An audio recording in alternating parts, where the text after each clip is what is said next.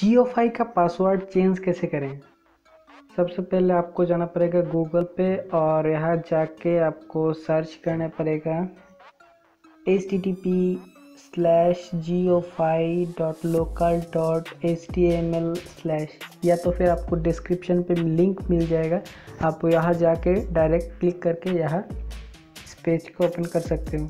इस पेज पे आने के बाद आपको एक ऑप्शन मिल जाएगा, वो है कि लॉग इन सबसे पहले आपको यहाँ लॉगिन होना है।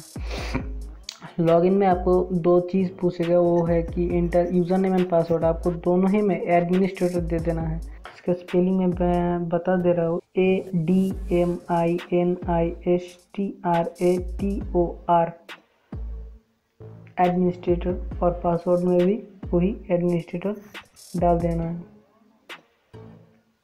ठीक है? उसके बाद आपको लॉगिन पे क्लिक कर दे देना है। लॉगिन पे क्लिक करने के बाद आपको यहाँ बहुत सारे ऊपर ऑप्शन मिल जाएगा। आपको आना है यहाँ सेटिंग्स ऑप्शन पे। वाईफाई में आपको आना है। वाईफाई में आने के बाद आपको बहुत सारे यहाँ ऑप्शन मिल जाएगा। ब्रॉडकास्ट और wireless channel max wifi password आपको नीचे की तरफ़ एक पासवर्ड दिखेगा। वाईफाई पासवर्ड वो क्या ऑप्शन मिलेगा। आपको यहाँ जो पासवर्ड आप देख रहे हो, आप चाहे तो यह डिस्प्ले पासवर्ड कर सकते हो।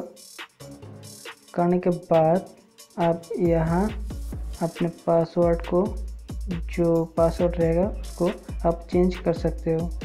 मेरा जो पासवर्ड अब यह है, मैं चेंज कर देता हूँ। चेंज करने के बाद आपको सिंपली यहाँ नीचे की तरफ़ ये सेव बटन पे क्लिक कर देना है। और आपको ये पूछेगा the wifi module will be restart you will be you will cause the wifi disconnections okay पे क्लिक कर देना है। और इसको अपडेट कर देना है।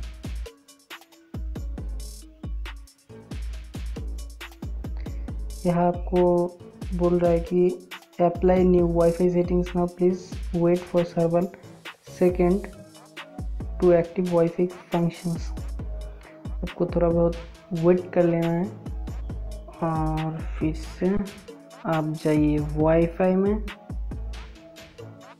और आपका जो आप देख रहे हो, ये कनेक्टेड कनेक्टेड नहीं हो रहा है क्योंकि इसका मैंने पासवर्ड चेंज कर दिया। चलिए इसको मैं फॉरवर्ड कर देता हूँ, उसके बाद फिर से इसका पासवर्ड मैं दे देता हूँ।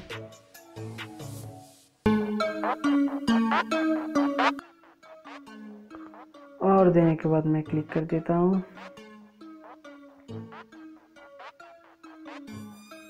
राइट क्लिक कर देता हूँ। देने के बाद आप देख रहे हैं, ये कनेक्शन ले चुका है। कुछ इस तरह के से, और आप देख रहे हैं ये आसानी से जो मेरा पासवर्ड है, वो चेंज हो चुका है, और आप इस तरह से अपना जो पासवर्ड है, वो चेंज कर सकते हो। चलिए दोस्तों, आज के लिए इतना ही। अगर मेरे वीडियो पे आपको थोड़ी बहुत जानकारी मिली तो एक लाइक करना और मेरे चैनल पे अगर आपने आए तो सब्सक्राइब ज़रूर करना। चलिए दोस्तों, आज के लिए इतना ही। तब तक के लिए गुड बाय